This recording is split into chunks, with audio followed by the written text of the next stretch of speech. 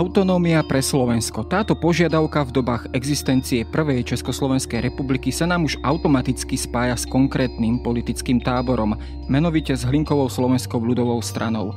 Kritiku centralistického modelu vedenia štátu, ostré odmietanie čechoslovakizmu a volanie po väčšej samozpráve si v medzivojnovom období do veľkej miery monopolizovali práve politici v okruhu Andreja Hlinku a stala sa základným programovým zameraním ľudákov. V politickej praxi sa pri pritom neváhali uchylovať k tak často využívanému populizmu a vyvolávaniu strachu pred cudzím, neslovenským elementom.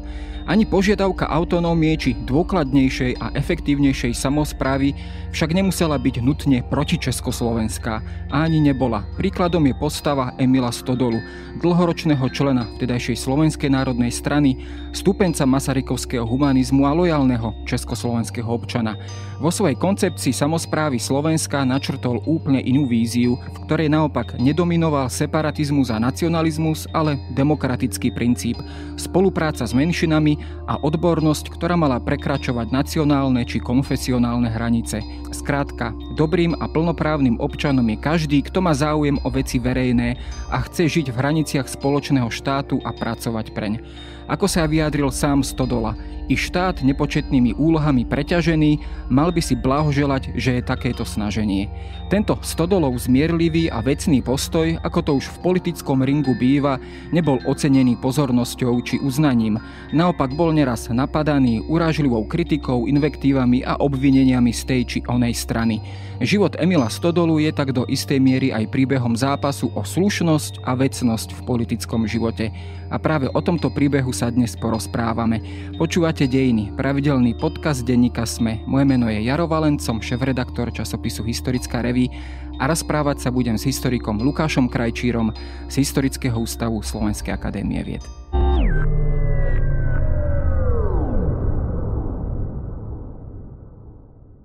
Prinášame vám najpočúvanejšie dovolenkové podcasty.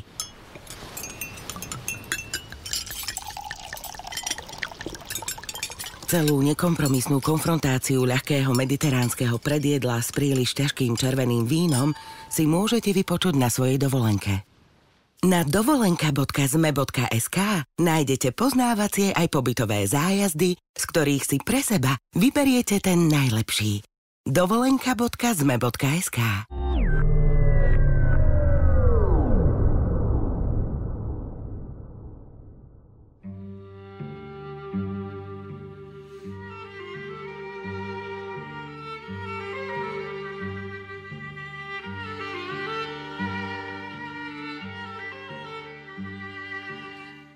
Emil Stodola takto na prvý pohľad aj z tohto krátkeho opisu vyzerá ako politik, ktorý bol skôr takého toho vecného zamerania, odborného zamerania, ktorý skôr do tých politických zápasov e, vstupoval s takým tým zmierlivejším tónom.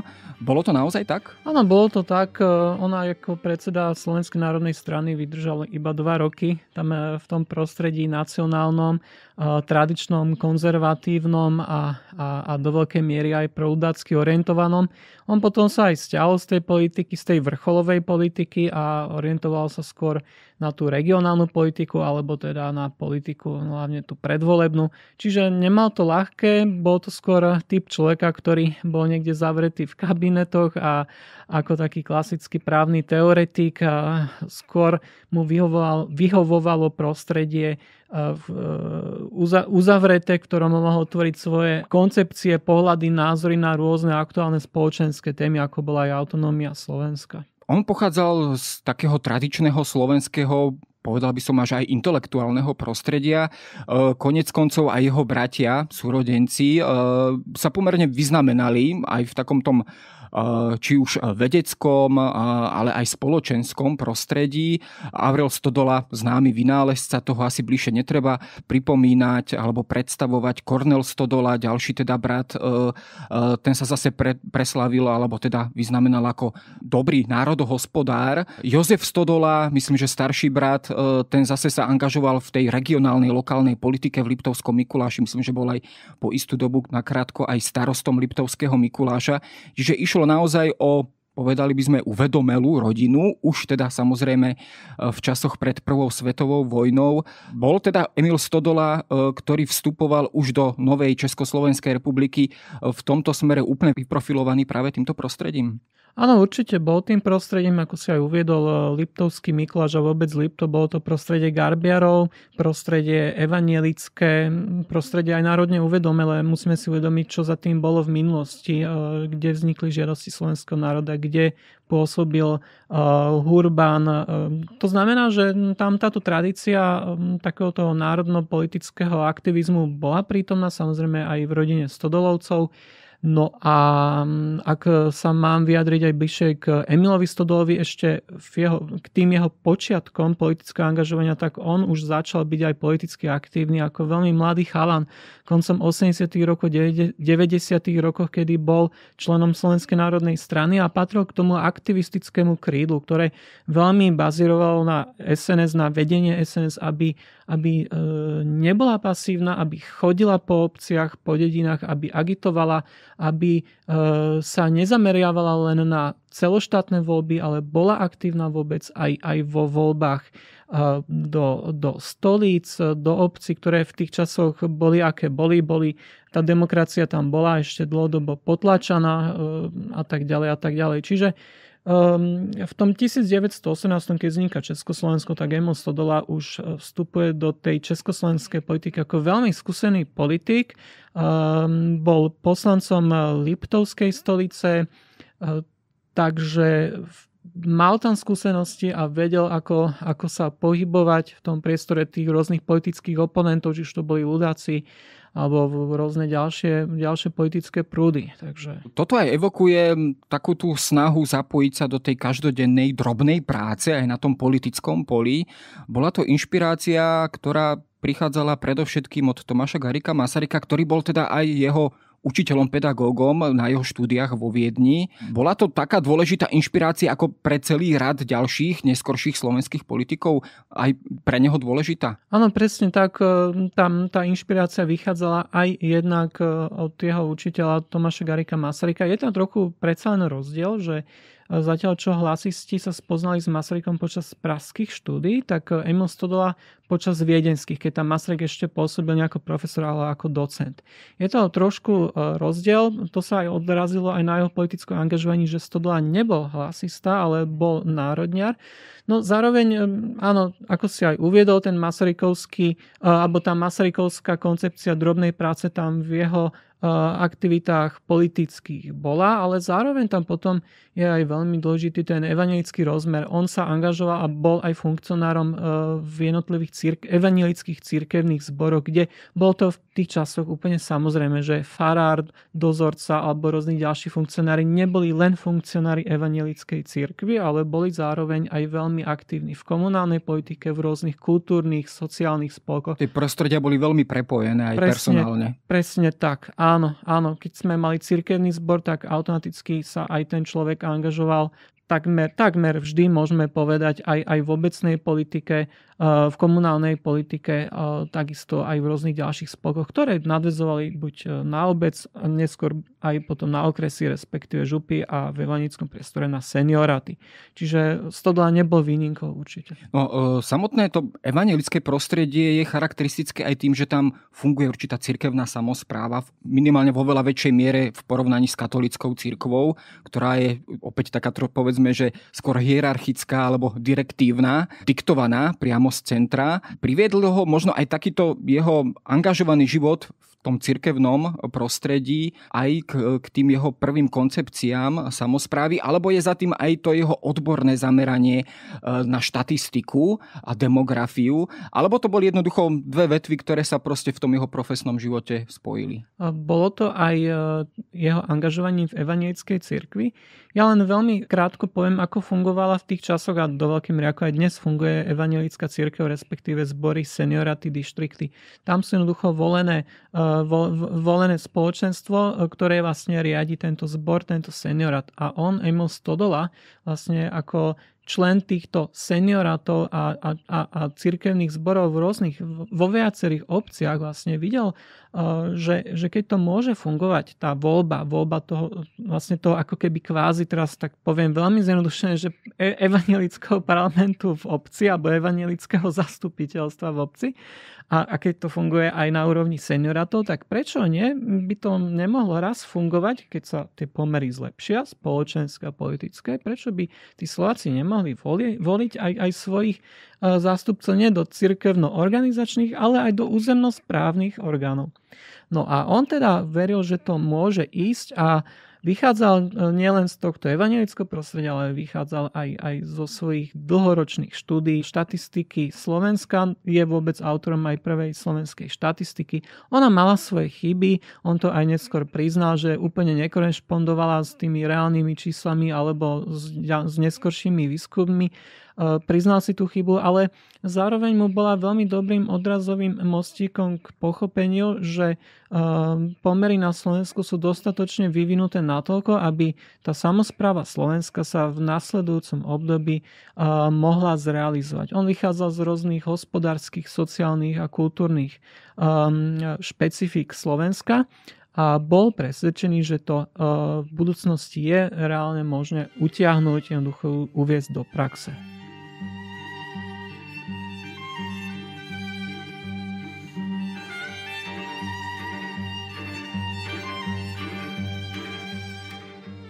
Ty si aj autorom samozrejme knihy, ktorá teraz prednedávnom vyšla, Emil Stodola a samozpráva Slovenska v rokoch 1918 až 1938. Má taký podtitul Alternatíva k ľudáckému autonomizmu. To je aj ten úvod, ktorý som trošku načrtol a pomerne dosť sa tam venuješ aj tým jeho, tej jeho vedeckej odbornej činnosti a on tam naozaj, e, a cituješ vlastne na viacerých miestach, že on naozaj na viacerých miestach ako keby odsledoval, že tá situácia možno nie je taká zlá na tom prelome 19. 20. alebo začiatkom 20. storočia, ako sa častokrát možno tvrdilo, že povedzme tá gramotnosť obyvateľstva nie je až taká nízka, aj zapojenie do ekonomického života hospodárskeho na Slovensku vôbec tiež nie je nízke v porovnaní s ostatnými národmi Uhorského kráľovstva, Uhorskej monarchie alebo Rakúsko-Uhorskej monarchie, respektíve tej e, zalitavskej časti. Opravňovalo ho alebo e, odvážoval sa na základe aj tohto povedať, že to Slovensko môže v istej forme a za nejakých priaznivých okolností naozaj dospieť k plnoprávnej alebo plnohodnotnej samozpráve? On veril, že mm, Slovensko môže získať autonómiu postupne behom niekoľkých rokov. Keď e, bola prijatá Martinská deklarácia 30. oktobra 1918, tak o deň neskôr sa konalo zasadnutie výkonného výboru Slovenskej národnej rady a on tam ako prvý nastolil túto otázku, že, že, že mala by sa Slovenská národná rada e, vyjadriť, či je za postupné uvádzanie autonómie Slovenska v rámci Československa. No a došlo tam aj k hlasovaniu. To hlasovanie prebehlo tak, že áno, myslím, že 15 ku 9 boli, bol, bol ten výkonný výbor, takto to odsúhlasil a s tým, že behom tých 10 rokov sa vlastne mala tá, mm, to politicko-spoločenské vzdušie na Slovensku skonsolidovať a veril, že aj zapojením nových vrstev a, a nového vzdelávacieho systému to občianstvo bude pripravené a bude voliť zodpovednejšie po tých 10 rokoch. Takže uh, vychádzal z toho, samozrejme je to už trochu iná téma, ale potom uh, tá formulka tých behom 10 rokov bola neskôr dosť často zneužívaná najmä Vojtechom Tukom, ktorý ani nebol prítomný. Tam pri... bola tá taká tá pripomienka, alebo teda, dnes by sme to mhm. možno nazvali hoax, e, o ano. nejakej tajnej dohode alebo klauzule, ktorá teda po desiatich rokoch existencie Československa sa malo ako keby na novo rokovať o celom ústavnom Presne. zriadení Československa. Presne, áno, toto ľudáci vytiahli túto konšpiráciu, ona sa veľmi uchytila do mm, e, verejného diskurzu a potom e, Amos Toda bol jeden z tých, ktorí túto konšpiráciu pravidelne vyvracal na stránkach novín, čiže Áno, bolo to vedome šírené. Ja, ja som do, do veľkej miery aj presvedčený o tom, že oni vedeli, že e, sa tam uzniesli ľudáci, že, že ľudáci teda dobre vedeli, že Slováci tam uzniesli na autonómiu behom 10 rokov v rámci Československa a nie, na roz, nie za rozbitie Československa po 10 rokoch. Čiže Emil Stodola to vždy často zdôraznila, že je to ľudácky výmysel a musel chodiť aj kvôli tomu posudok v 25.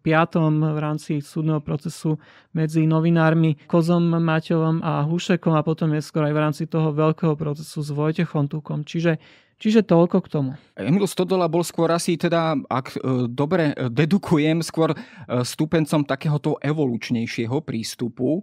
Jednoducho asi si sám uvedomoval, že v tých počiatkoch spoločného štátu je samozrejme potrebná aj určitá personálna aj odborná výpomoc z českých krajín na Slovensko. Čiže koncipoval tie svoje plány a ten svoj program s týmto vedomím, že jednoducho k tej autonómii alebo určitej forme autonómie jedného dňa skôr či neskôr prirodzene dôjde? On tomu veril, e, časom ako roky utekali a prebehlo aj tých 10 rokov si uvedomil, že to ešte reálne nie je a dosť často aj poukazovala, prečo to reálne nie a poukazovala najmä na ľudáckú politiku a na sympatizantov ľudákov, ktorí jednoducho akceptovali ľudáckú demagógiu, ľudácké konšpirácie a rôzne tie e, ľudácké prehlásenia, ktoré vlastne vulgarizovali ten verejný diskurs a jednoducho vychádzal z tej koncepcie, že v prvom rade tá autonómia Slovenska sa dá zrealizovať len vtedy, pokiaľ to občanstvo bude dostatočne e, národne, a nielen národne, ale aj vôbec intelektuálne nejak uvedomelé.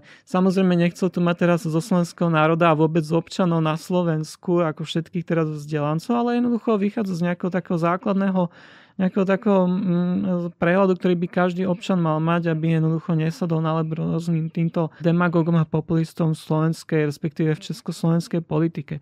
Len tam treba aj potom zdôrazniť, že nešlo len mu o slovenský národ, ale vôbec ako o všetkých ľudí žijúcich na Slovensku a s tými aj počítal potom do zápojenia do tejto slovenskej samozprávy. No a tu sú vlastne také dva prístupy, ako sa dá k tejto otázke vôbec nahliadať alebo k nej pristupovať. A to je Povedzme, ten prvý prístup je taký ten kolektivistický, založený predovšetkým na tej národnej myšlienke, nacionálnej myšlienke a vydobitie si následne určitých kolektívnych práv.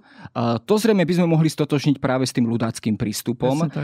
Aký prístup teda e, presadzoval samotný Emil Stodola? Na čom bol založený? Tá ľudácká koncepcia, ona ešte vychádzala z tých e, koncepcií, z tých návrhov z 19. storočia ako Slovenské veľkokniežastvo, Slovenské okolie, kde sa veľmi veľmi bazíroval na tom, že slovenský národ má dostať autonómiu a hovorilo sa tam, že o, o, o župách, na ktorých žijú Slováci. No lenže e, doba sa zmenila a, a Emil Stodla tým, že aj vôbec tú šta, slovenskú štatistiku on e, zbúchal, spracoval. Tak mal asi dobrý prehľad mal o veľmi, demografických pomeroch. Presne tak, mal veľmi dobrý prehľad o demografických pomeroch Slovenska, územia Slovenska a videl tam, že jednoducho v tých župách žijú aj Slováci, žijú tam aj Židia, žijú tam aj Nemci, Maďari a zároveň tu žijú aj katolíci, evangelíci, pravoslavní. Proste je to, je to veľmi pestrofarebná paleta, to Slovensko a veril, že aj po vzniku Československa a zároveň po príchode českej inteligencie by sa malo dbať na to, že do slovenskej autonómie zapojiť všetkých, bez ohľadu na tieto národné, náboženské,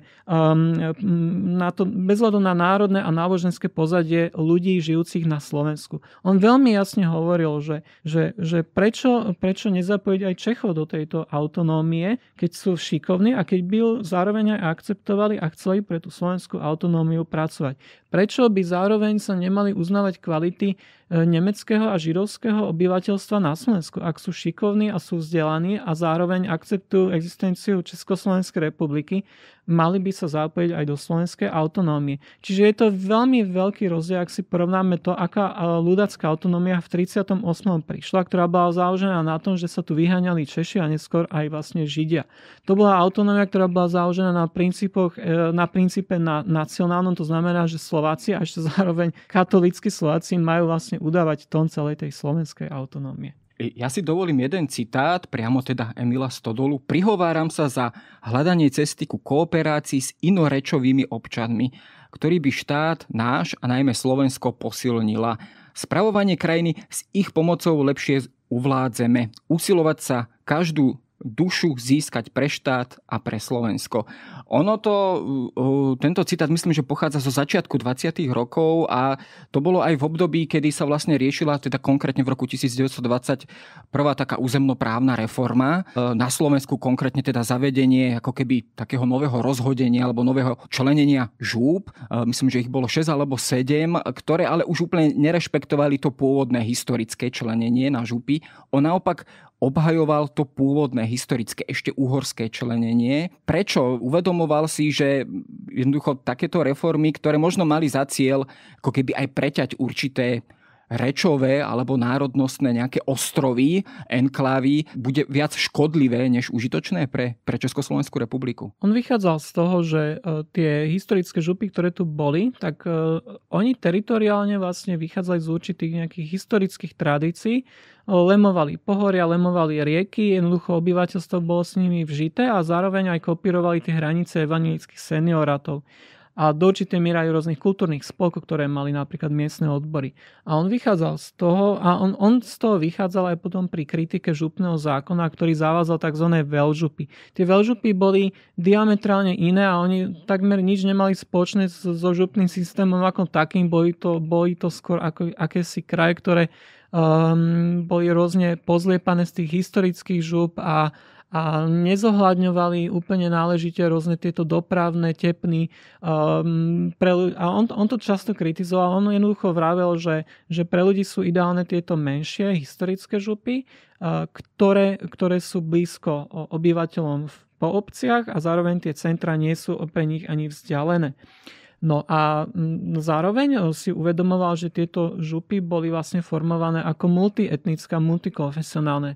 Keď si vezmeme napríklad Spiš, Spišskú župu, ktorá, ktorej žili aj Slováci, aj Nemci, prípadne ďalšie etnika, alebo, eh, alebo Komárňanskú župu, kde žili prevažne Maďari, ale po vzniku Československa aj začínali pribúdať Česi a Slováci. To znamená, že on ich chcel takto ponechať v platnosti s tým, že videl tu možnosti, že napríklad Komárňanskú Komárňanskej župy, v Komárňanskej župe by sa uh, mohli aj, aj, aj maďarská, mohla by sa aj maďarská komunita ľahšie angažovať v rôznych kultúrnych spolkoch alebo aj v územnej samozpráve, že aby si jednoducho vyskúšala, aké to je fungovať v tej regionálnej samozpráve už nie pod Uhorskom, ale pod Československom.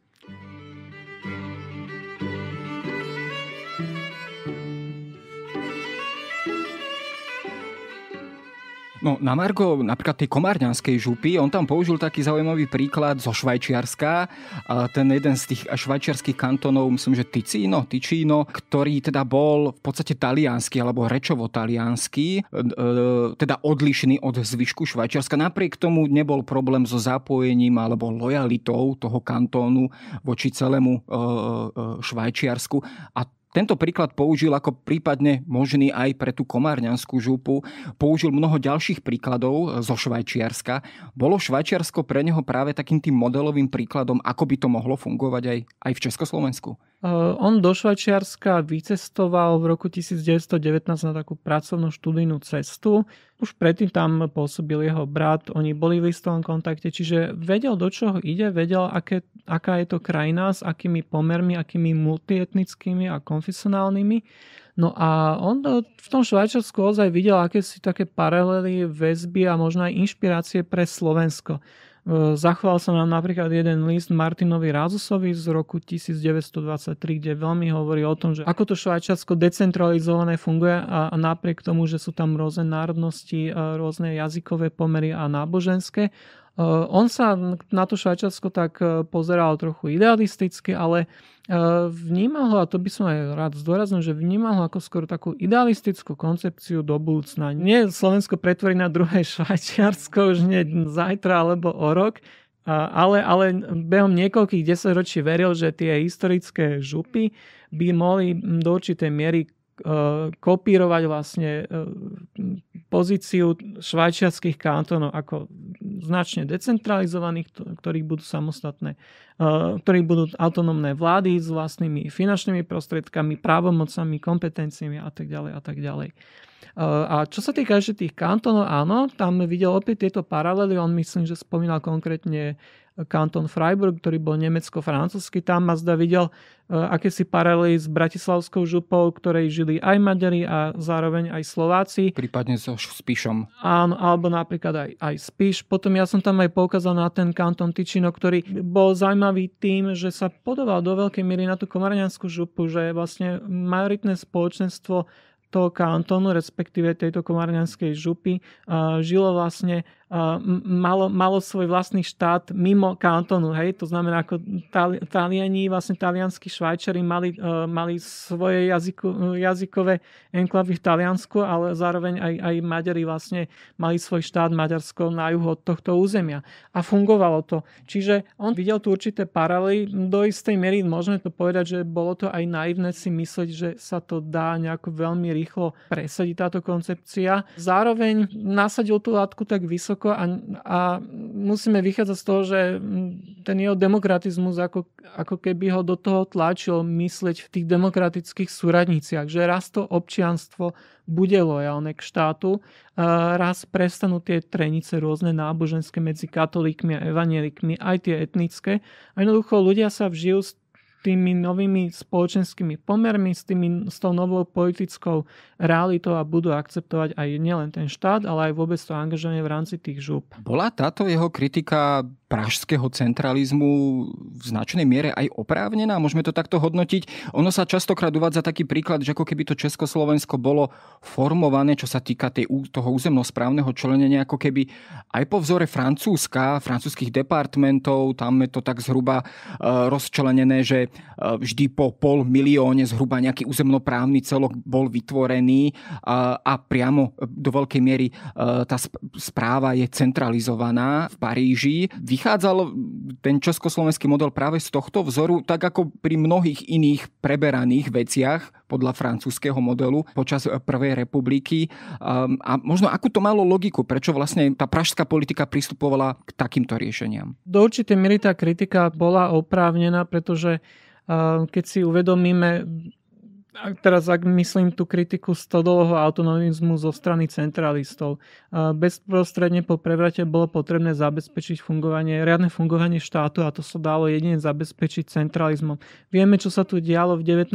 roku, ozbrojené zložky Maďarskej republiky rád zabrali územie, no ťažko by sa dalo asi uh, uh, udržiať. Cez nejakú autonómiu niečo Presne udržať. Tak. Čiže mm. bolo to do veľkej miery uh, pochopiteľné, ale pribúdajúcimi rokmi uh, začínalo to nahrávať práve autonómiu autonomistom a najmä tým demokraticky orientovaným autonomistom, ako bol Emil Stodola. To znamená, že čím neskôr sa uh, mala uviesť táto autonómia do praxe, čím viac sa to odkladalo, tak tým pribúdajú argumenty aj pre Emila Stodolu, že už je ten čas, aby sme to uvoľnili postupne.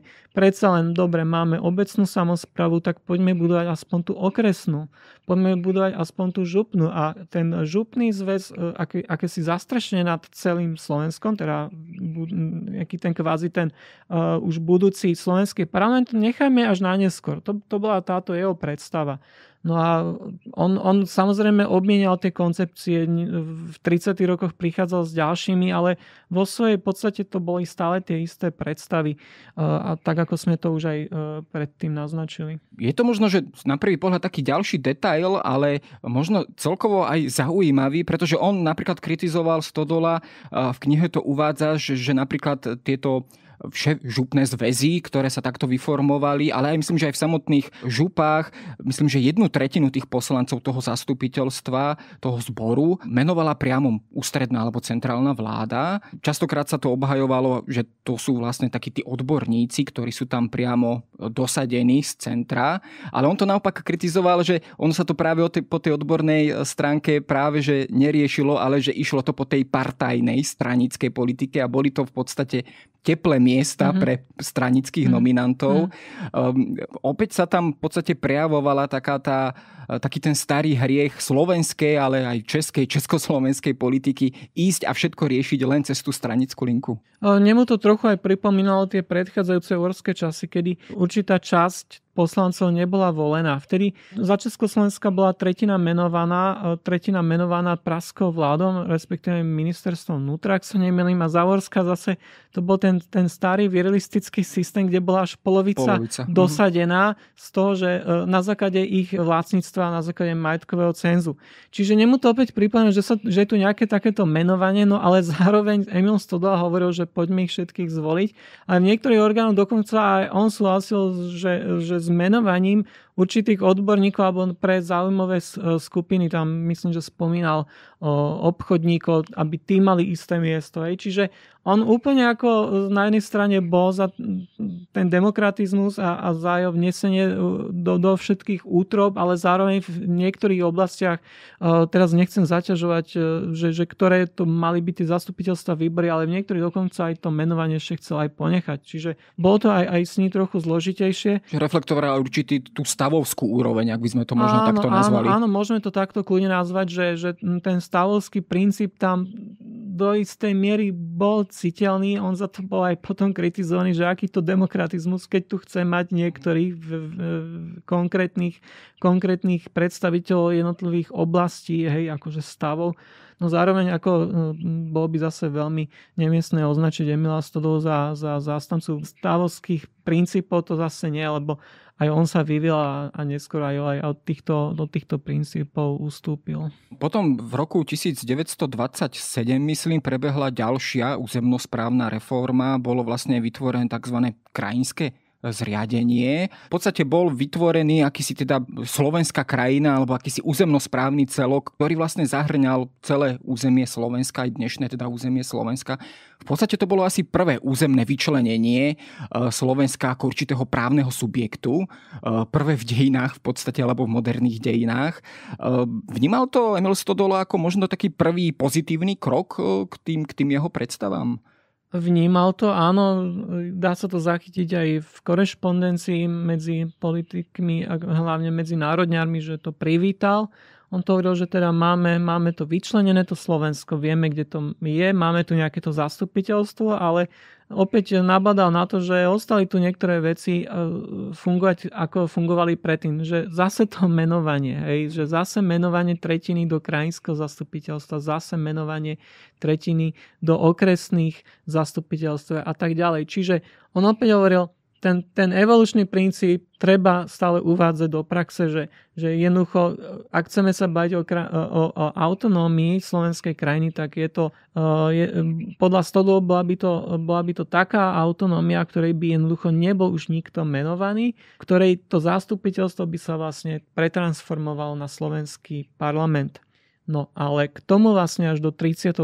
neprichádza a on teda aj, aj potom aj v tom nasledujúcom období v 30. rokoch sa tomu stále aktívne venuje tejto téme. Nevenuje sa už len v článkoch, ale vydáva k tomu aj publikácie pamäti, kde opäť otvára otázku samozpravy a kde to stále e, reflektuje a prináša tam aj niektoré nové inovatívne postupy, ale e, zároveň sa drží stále tej istej tradície, že hovorí, teda e, musíme, musíme budovať slovenskú autonómiu prioritne, ak by sa to dalo na základe tých, na princípe historických žúb. Thank you.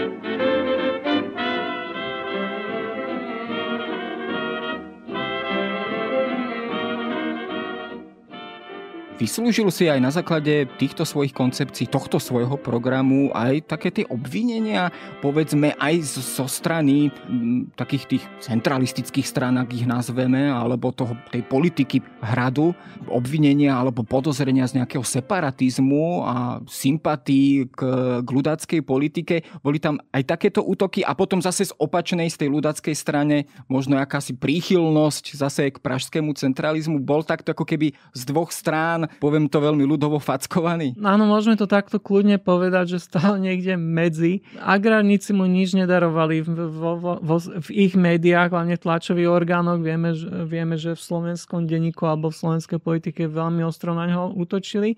A, často aj obviňovali z toho, že, že, že vlastne argumenty, tak ako argumentujú rôzni revizionisti alebo najradikálnejší ľudáckí politici, ktorí by najradšej otreli Slovensko a pričlenilo naspäť Maďarsku, Neskôr sa tá, tá agrárnická uh, retorika zmiernila, keď videli aj samotné kroky Stodolu, že nie až taký radikálny.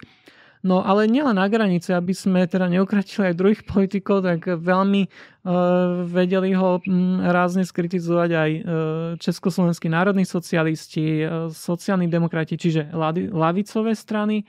Oveľa zmierlivejší prístup k nemu mali napríklad národní demokrati, možno aj z toho dôvodu, že to bola strana z tých českých alebo z českého prostredia vychádzajúcich, strana, ktorá mala aj idolo snať najbližšie k SNS, ktorej on bola istý čas predsedom. Jednak bola to nacionálna strana, bola to do veľkej miery konzervatívna a tiež aj dosť tak slavianofilsky orientovaná, aj keď sám Stodola nebol veľmi proruský.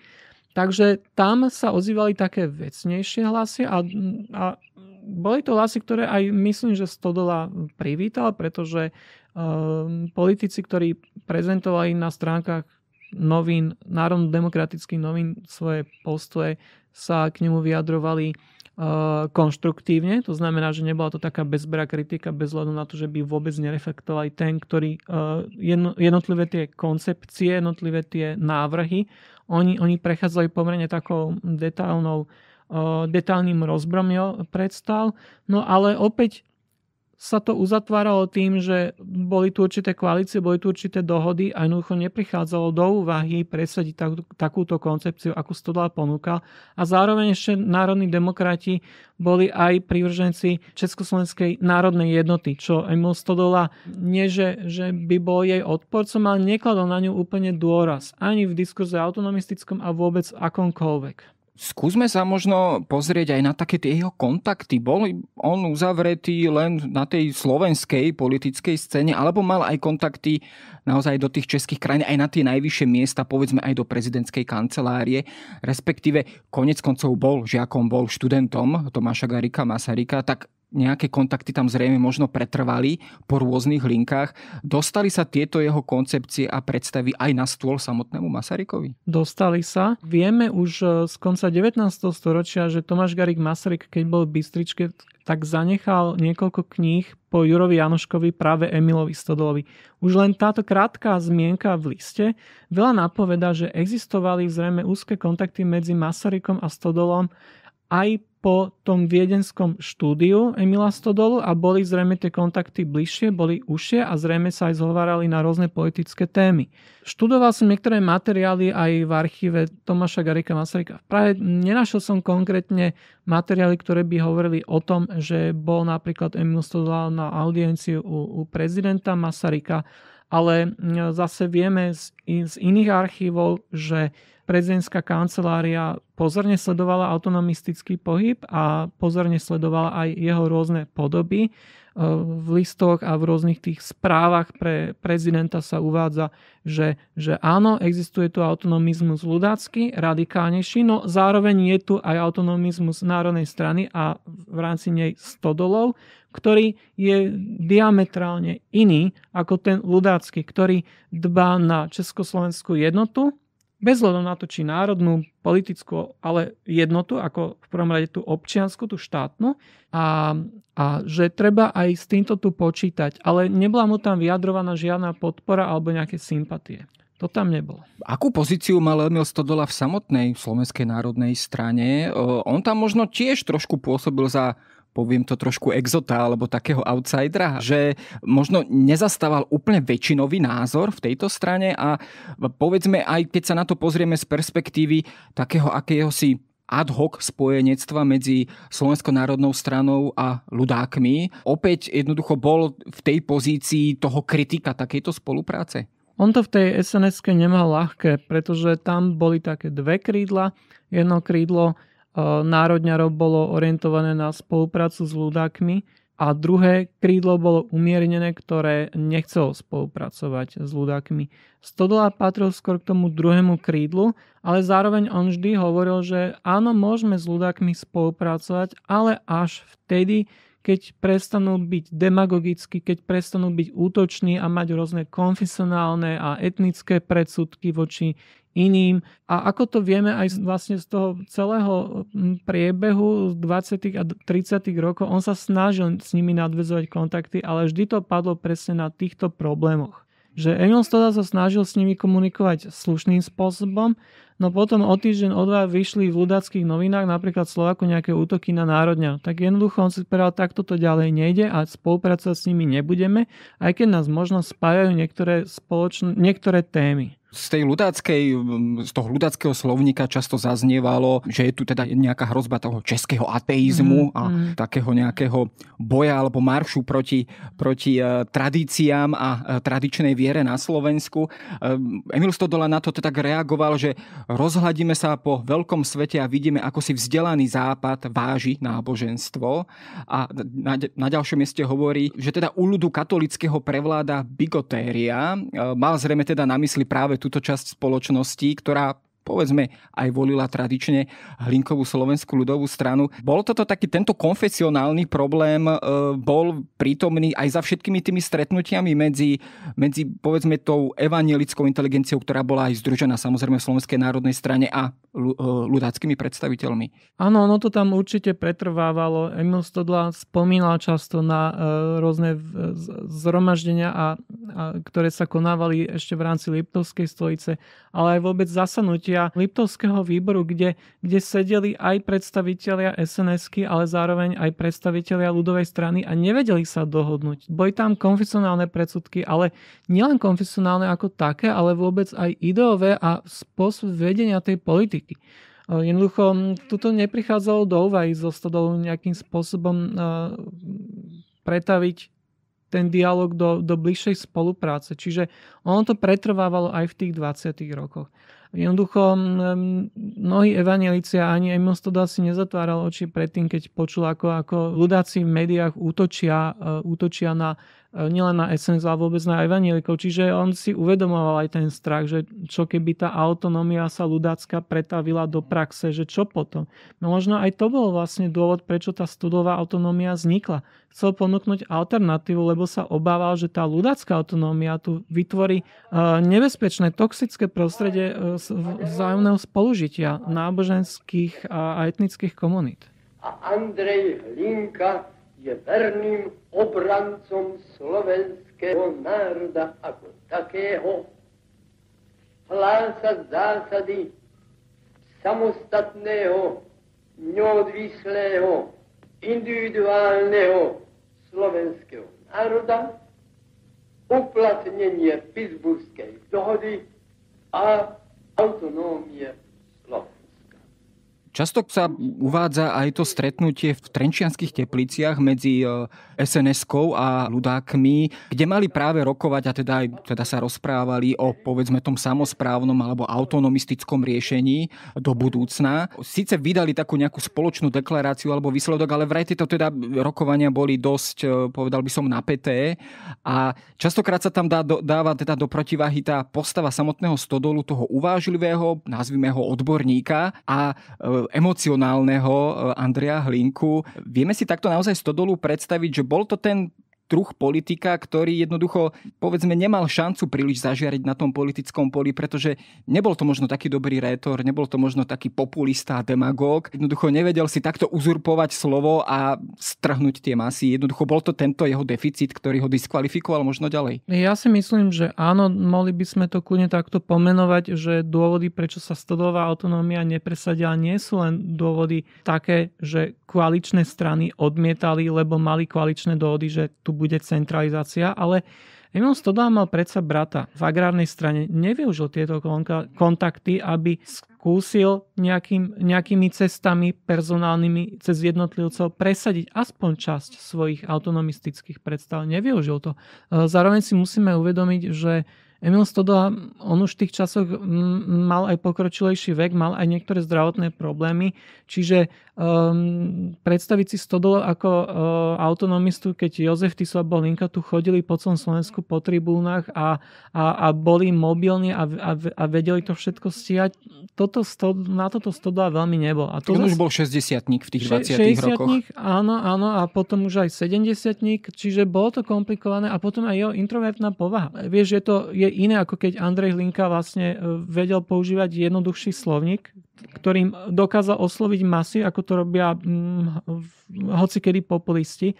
No zároveň to ide na vrúb tej kvality a vôbec toho, že vlastne čo v tej politike chceme dosiahnuť a akými prostriedkami. To znamená demagogiou a oslovujeme teraz koho a čo tým sledujeme. Čiže z toho pre ňo to bola hrubá čiara a tým, že vlastne e, odmietal ten populizmus, e, tým sa vlastne on aj sám ako keby limitoval, pretože e, voliči na Slovensku v tých časoch do veľkej miery jednoducho prisadli na lep týmto populistom. Opakuje sa taký starý hriech aj v tomto, starý hriech slovenskej politiky, že jednoducho tú pozornosť na seba strhnú práve tí s jednoduchším a populistickým slovníkom, naozaj s demagogickými heslami a ten odborný hlas, triezvý, vecný, ktorý hľadá kompromis, ostáva jednoducho bokom. zanikne v tom huriavku. Áno, ostáva bokom. Je to, je to prítomné na príklade života a aktivity Emila Stolu. Na tom no, môžeme presne toto sledovať, že v podstate ten, ten hlas tej samozprávy, ktorý on dával von ako keby išiel niekam dostratená, že máme tu na ňo reakcie, tie reakcie však nie sú nejaké výrazné a, a jednoducho mm, sa to nepodarilo presadiť. Samozrejme vieme, aký bol ten e, vývoj neskoro v druhej polovici 30. rokov, že tu prichádzalo aj k vplyvu zo zahraničia, ktorý urýchlil určité procesy, to znamená, že tá autonómia Slovenska sa tu uzákonila, ale aká autonómia? Môžeme teraz sa o tom tu debatovať, koľko len chceme, že keby e, Československo a demokratické Československo pokračovalo vo svojej ceste, že možno by jazda prišlo aj na stodolové slova, respektíve vieme to zachytiť, že v 38. stodolové predstavy preberá vtedajší predseda SNS, umiernený, eh, Jan Paulini Todd. Eh, dochádzalo tu v 38. k rôznym ľudackým manifestáciám. SNS robí tiež vlastné manifestácie a Paulini Todd práve veľmi zdôrazňuje aj, aj eh, túto umiernenú, tú evolučnú koncepciu samozprávy, ktorú, ktorou prišiel Stodola a konkrétne ho menuje, že on je autorom Emil Stodola. Môžeme to vnímať, že bola tu už akási snaha o prebratie štafety, E, týchto ideí na iného politika, mladšieho, agilnejšieho.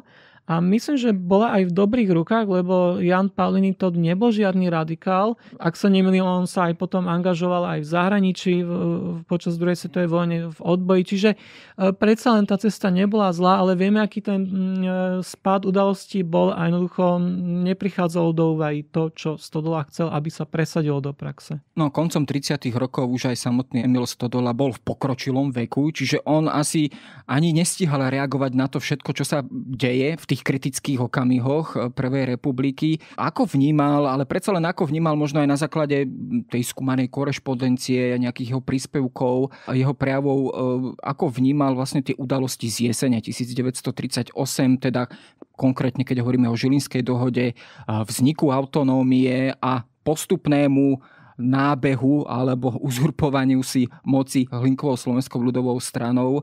Um, ako vnímal vôbec tento krok eh, vzniku autonómie a ako ho možno klasifikoval? Z Todolovi vyšli eh, články v právnom obzore. To bol hm, tlačový orgán advokátskej komory, v ktorých kritizoval niektoré, niektoré veci, ako sa majú so slovenskou autonómiou, ktorá sa tu uzákonila na jeseň 38. Napríklad on hovoril, že by sme vôbec nemali hovoriť o autonómii, pretože sú tu určité znaky federácie, dokonca až konfederácie. On napríklad veľmi zdvíhal prst na to, že Slovensko má mať vlastné súdnictvo. No a moja hypotéza je taká, že sa možno obával, aby tí ľudáci, ktorí to teda tu mali pod taktovkou, nezneužívali tie slovenské súdy na rôzne procesy. Hovorím, toto je moja hypotéza, takto to on nenastavil, hovoril to dá opatrne, ale vieme, čo sa dialo neskôr. Dokonca vieme, že um, v, v roku 1939, ak sa nemilím, bol to v máji, v júni, sa stretol Emil Stodala dokonca so šéfom úradu propagandy Alexandrom Machom, pretože Um, vieme, aké už bolo v tých časoch postavenie evanielikov a, a sa komplikovalo. Evaneliti sa uh, otvorene uh, stávali kriticky k rôznym uh, vtedajším aktuálnym spoločenským témam, najmä to, ako boli, um, ako boli um, z rôznych úradov uh, vlastne odťahovaní na úkor katolíkov a tak ďalej. A aj keď vtedajšia propaganda a, a, a ktorá, pod ktorú aj spadajú už aj vtedajšie noviny ako Slovák aj v 39 spomínal toto, toto stretnutie ako také, že prišlo tam k vzájomnej výmene názorov a, a postojov Mm, zrejme tam môžeme e, za tým vidieť aj snahu Emila Stodolu nejako tlmočiť názory evangelickej obce, ktorá sa cítila byť obviňovaná z rôznych, e, z rôznych vecí e, a možno aj tlmočiť názor toho, že sa cíti ako zatlačená do úzadia a neprávo. Emil Stodola presadzoval ten občiansko-demokratický, individualistický princíp aj v, v otázkach tej autonómie Jednoducho je jedno, ako rečou rozprávame a akú vieru vyznávame, ale dôležité, aby sme sa zapájali do verejného života na tom konkrétnom mieste. E, naplnili sa tie jeho najhoršie obavy práve z toho druhého súdka, keď to tak nazveme, že prevážili tie nacionalistické, kolektivistické pohľady na to riešenie autonómie. E, jednoducho, naplnila sa Stodolova tá najhoršia predpoveď? Ja myslím, že sa naplnila, lebo Emil Stodola, on už videl e, v 20. rokoch, aký používajú ľudáci slovník. Videl, ľudia sa to mohli dočítať v novinách, že sa e, rodobránci pobili na nejakých verejných zhromaždeniach niekde vo veľkých levároch alebo e, na ďalších stretnutiach, mítingoch a, a vieme, čo sa tam hovorilo na tých stretnutiach. Emil Stodola mal obavy a v tom 38. 9. keď sa toto vlastne stalo ako si bež, bežnou ľudáckou aktivitou, je, že, že začali byť znevýhodňovaní e, vlastne ľudia iného náboženstva ako katolické alebo inej národnosti ako slovenský, tak jednoducho nemohol to vnímať pozitívne Problém je, že po 38. už e, nemáme žiadne články ani korešpondenciu zachovanú, v ktorej by Stodola reflektoval. Zrejme sa ani už verejne nevyjadroval a uvedomal si, že to mohlo by byť aj nebezpečné. A jednak on potom aj, aj vážne ochorel v 40. roku, čiže už, už nevieme bližšie vlastne, aké bol jeho postoje, ale môžeme bezpečne prehlásiť, že, že s tým vývojom po 38. respektíve 9. nemohol súhlasiť. Bolo to proti jeho tým predstavám, ktoré tu niekoľko rokov, dokonca 10 ročí e, prezentoval a presadzoval do, do verejného diskurzu.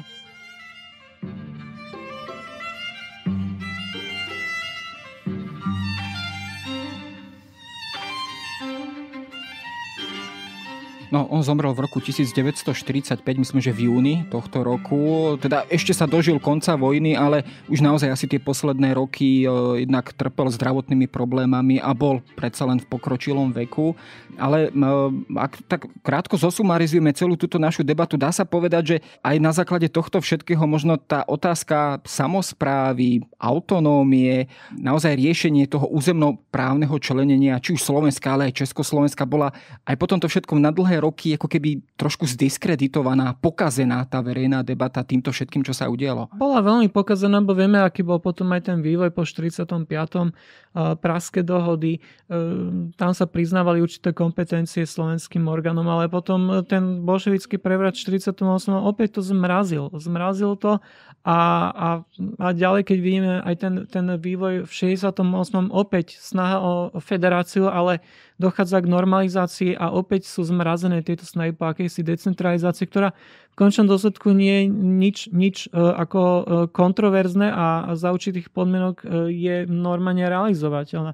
Čiže ak si uvedomíme, alebo ak by sme chceli hovoriť o akomsi aj odkaze Emila Stodolu v rámci určitých decentralizačných procesov, tak môžeme jednoznačne prehlásiť, že ešte dokonca ani dnes sme nenaplnili tie také tie idealistické predstavy Emila Stodolu o tom, ako by mal štát fungovať, ako by mali byť decentralizované um, orgány, ako by, mal, ako by mala fungovať samozpráva. Konec koncov, pozrieme sa, uh, ak, ak by sme len vôbec nadhodili otázku komárňanskej župy dnes, hej? Mm-hmm, čo by to vyvolalo Čo by všetko? to vyvolalo mm. a mhm. Emil Stodola, ju, Emil Stodola to nadhodil v 19. roku prvýkrát. Tak si to môžeme predstaviť, čo to vtedy za akú veľkú burku spôsobilo a ešte čo by to dnes uh, takéto debaty vlastne uh, spôsobili. Čiže uh, nehovorím teraz ani ja, ja osobne nie, nie som, ja poprede nie som teraz odborník na decentralizáciu a, a, a, a verejnú správu, som historik, ale hovorím to z takého nadhľadu, že, že mnohé veci, najmä tie, tie demokratické princípy ešte stále ako keby len naplňame a však vidíme to aj dnes, že tá debata okolo samozprávy, že ako majú fungovať župy, ako majú fungovať okresy, že je to stále otvorená debata, stále tu počujeme, že pokusy o reformu verejnej správy a myslím, že teraz sa jedna dokončovala, alebo už aj dokončená je. Čiže je to tu stále aktuálne a, a, a v, v takých tých, tých základných stranicách je, je stále ten stodol a, taký, a tie jeho predstavy sú stále tu tak prítomné medzi nami. No, Emil Stodola je stále aktuálny, hoci nevypočul počutý hlas slovenskej politiky, veľmi zaujímavý a som rád, že som sa práve o ňom porozprával s Lukášom Krajčírom. Ďakujem za rozhovor.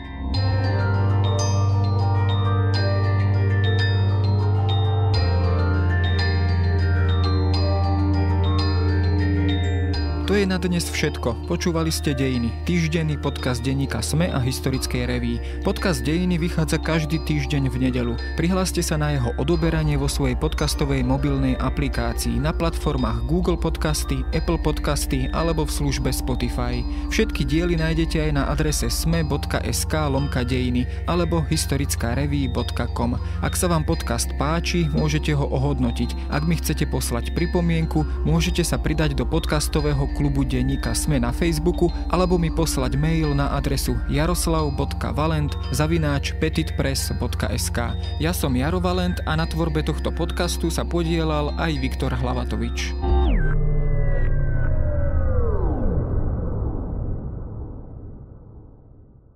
Prinášame vám najpočúvanejšie dovolenkové podcasty.